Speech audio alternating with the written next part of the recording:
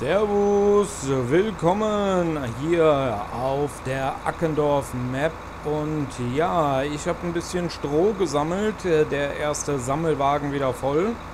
Hab ja Feld 10, Feld 11 noch ein bisschen was liegen gehabt.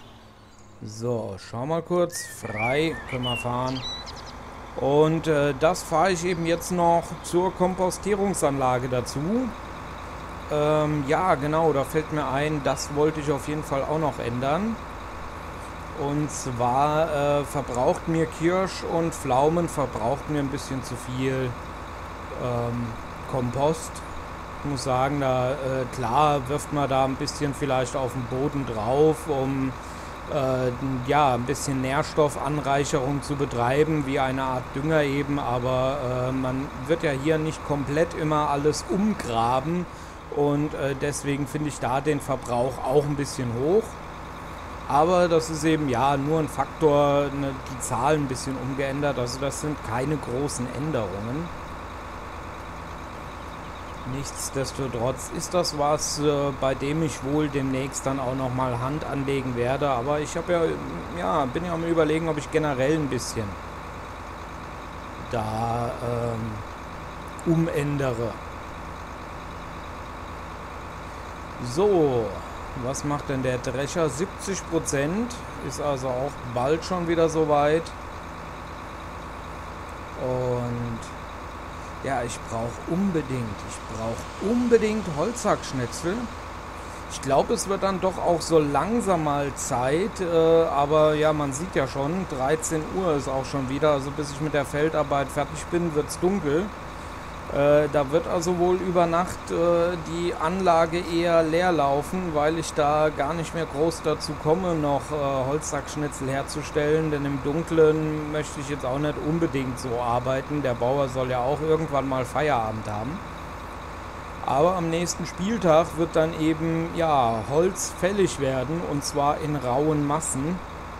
Und da ist natürlich dann die Überlegung, ob man sich nicht vielleicht dann mal das Biest zulegt und eben ja in den Wald, in den Forst fährt und dort direkt abholzt. Andererseits, ja, müsste ich auch mal schauen, meine angepflanzten Bäumchen, wann die denn so weit sind. Äh, ich gehe hier in die Außenansicht, da sehe ich einfach besser, wo ich hinfahre. So. Äh, gerade da hoch, so. So passt das abkippen, können wir wieder nach vorne gucken, auch wieder in die Innenansicht reingehen. So, und dann schauen wir mal noch. Da haben wir das. Ja, 31.000 Liter Kompost haben wir auch schon wieder. Also da kann man dann auch bald wieder verteilen. Und wir kommen auf jeden Fall, ja, über die Hälfte der Anlage haben wir hier im Beschlag schon. Wir schauen mal. Ah, war schon wieder zu weit. Jetzt blätter ich hier einfach mal durch.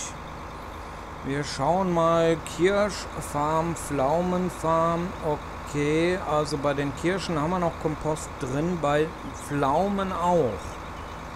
Beide haben keine Kartonpaletten mehr und Leerpaletten ist bei den Kirschen schon all, bei den Pflaumen bald. Also da werden wir als nächstes dann auffüllen müssen. Ach ja, noch eine Änderung habe ich mir vorgenommen. Ich habe jetzt, äh, wo ich eben die Mastanlagen oder das Tor zumindest kurz gesehen habe, ich habe mir bei den Masthühnern jetzt eben Silage noch mit eingetragen. Das heißt, ich kann jetzt dort Silofutter auffüllen. Oh, und wir fahren mal gerade hier rechts ran. Damit wir den Verkehr hier nicht äh, behindern. Denn wir müssten mal in den JCB springen und müssten hier mal wieder abtanken. 95, 96 Prozent. Äh, da vorne kommt er an. So, zoomen wir auch mal ein bisschen zurück hier. Sehen wir mehr vom Anhänger, lassen den kurz wenden. Weit wird er ja eh nicht mehr kommen.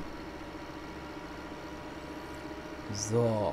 Wir können auch von der Seite ranfahren, denn beim Überladen stoppt der ja eh. Haben wir ja so eingestellt, dass eben Überladen nur im Stand. Und eigentlich könnten wir natürlich, Biodiesel ist ja nicht die schnellste Produktion, eigentlich könnten wir ja das schon mal einfüllen. Dann kann das schon mal anfangen, wieder den nächsten Diesel zu produzieren. So, ein bisschen hier hinten. Mit überall Raps im Hänger liegt. So. Äh, nee, halt. Ist ja auch hier dabei. Gehen wir mal weiter. Da haben wir es. Diesel Production. Die Dieselproduktion. 200.000 Liter Raps würden reinpassen. Ja, echt Wahnsinn. So viel brauchen wir gar nicht. Oder so viel, ja, brauchen. So viel haben wir gar nicht. Das ist das richtige Wort. So viel haben wir gar nicht. Ach so, äh, wir haben ja gar nicht in die Bestände reingeschaut. Ich hatte ja zwischendrin offscreen äh, weiter geerntet. Und so sieht es also jetzt aus. Äh, 27.000 Liter Weizen. Gerste hatten wir ja schon äh, gesehen vor zwei Folgen. 91.000. Also da können wir dann, wenn der Streik beendet ist, zwei äh, von unseren Hängerchen hier voll wegfahren. Und Raps, ja, mit 18, fast 19.000, das lohnt sich noch nicht wirklich. Also auch beim Weizen bin ich am überlegen, vielleicht eher, dass ich den dann verwende, um hier Gewächshaussamen oder sowas aufzufüllen. Oh, da war ich schon zu weit. Da war doch eben kurz das Abkippsymbol. Da. Waren wir schon zu weit gefahren. So. Dann kann der hier nämlich anfangen zu produzieren. So, mit dem großen Hänger schön weit ausholen, dass der Hänger nicht in der Mitte irgendwo hängen bleibt.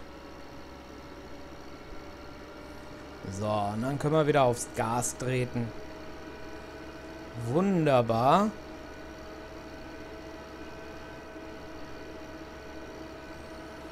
Und ab zum Feld. Und dann geht... Äh. Also mit dem großen Hänger, da sollte man wirklich nicht schnell fahren. Ich glaube, ich gehe hier mal hin. Stell hier mal den Tempomat. Sagen wir mal 45. Fangen wir mal an. Und ähm, dann machen wir uns hier Drive Control die neue Funktion. Und jetzt können wir eben gar nicht schneller als 45 fahren weil dann der Tempomat, äh, der clevere Tempomat uns quasi das äh, Gaspedal dann sperrt. Also hier schneller wären wir gar nicht. Nutzen wir das, wenn wir den Hänger dran haben, einfach mal. Vielleicht funktioniert das dann besser. So, ich mache hier noch eine kleine Runde, dass ich den Drescher sehen kann. So. Ach, der ist ja dann auch bald fertig. So, Motor aus, dann geht's hier weiter. Schauen mal, im Spiegel sieht man nichts. Ah, fahren wir einfach mal raus, wird schon passen. Ja, ist blöd, wenn man Spiegel hat, aber nichts drin erkennen kann, weil man dann doch nur Anhänger sieht. Weil sie vielleicht doch ein bisschen weiter hätten nach außen gestellt werden müssen. So, wir machen langsam, denn nach der neuen Beschilderung ist es ja ein Kreisverkehr und dann haben natürlich die im Kreisverkehr befindlichen Fahrzeuge Vorfahrt. Und die nehmen wir denen auch nicht weg. Auch wenn sie uns jetzt hier lahmarschig vor der Bude hängen. So, aber hier... Ah, nee, jetzt biegt der auch noch ab. Komm, Jungen, hier sind 50 erlaubt. Dann fahr die doch auch. Ah, no Mann, oh Mann, oh Mann. Immer diese Schleicher hier, immer diese Schleicher. Auch da sieht man nichts im Spiegel. Ist man schon vorbei oder nicht? Naja, doch. Gut abgeschätzt, hat noch hingehauen. Und dann geht's mit dem Strohsammeln weiter. Damit wir eben da auf die günstigste Art und Weise, wie es nur irgendwie geht, an Kompost kommen. Also Stroh und natürlich Gras, das ist also die einfachste Art und Weise, wie wir uns Kompost herstellen können. Und wenn wir dann mal die ersten Gewächshäuser am Laufen haben, da soll ja auch Kompost dann rauskommen, zumindest laut der Beschilderung, die bei den Gewächshäusern vorherrscht, kommt da Kompost raus. Ich kenne die Gewächshäuser nur so, dass dort äh, kein Kompost, sondern ähm, äh, ja, Schaf, also Häckselgut rauskommt, dass man dann eben zu Silage hätte bearbeiten können und so. Also das wurde hier wohl umgeändert. Genaues weiß ich auch erst, wenn ich dann das Ganze mal bedient habe.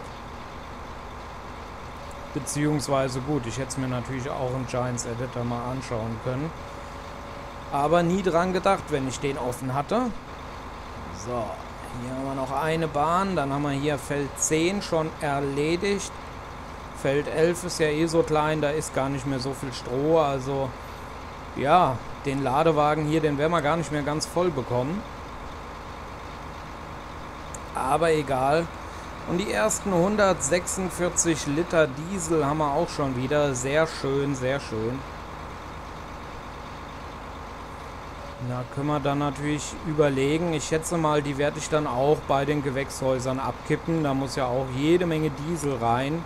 Oder da kann jede Menge Diesel rein. Aber der Drescher ist fertig.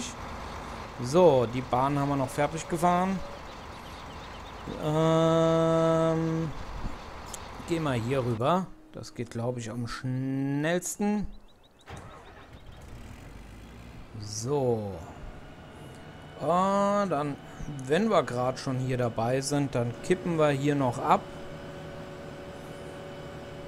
Und dann geht es rüber auf Feld 21. Da haben wir auch extra noch Raps stehen für Biodiesel. So, kippen wir hier ein bisschen in die Mitte. Lalalalalalala.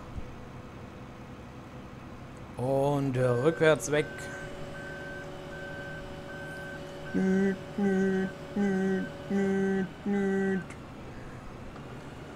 So, wunderbar. Also, ja, keine schlechte Idee, hier das Feld noch für Raps zu nutzen. Relativ schnell hier abgeerntet. Wir haben es nah zum Biodiesel, deswegen hat sich das ja angeboten. Denke ich, werde ich die äh, nächsten Spieltage so weiter handhaben, sodass wir da eben uns wirklich weiterhin günstig äh, Biodiesel herstellen können, denn äh, ja, im Prinzip kostet es uns nur das an Diesel, was wir eben für die Fahrzeuge verbrauchen, sowie eben Saatgut und, ähm, und Dünger. Andererseits muss man natürlich sagen, ist es natürlich eigentlich wiederum nicht so ideal, denn wenn wir den Raps verkaufen würden, würden wir mehr Geld machen. Aber ja, dadurch, dass wir die Felder jetzt hier eben extra dafür uns zurechtgelegt haben, denke ich mal, ist das in Ordnung. So. Dann gehen wir hierhin zurück.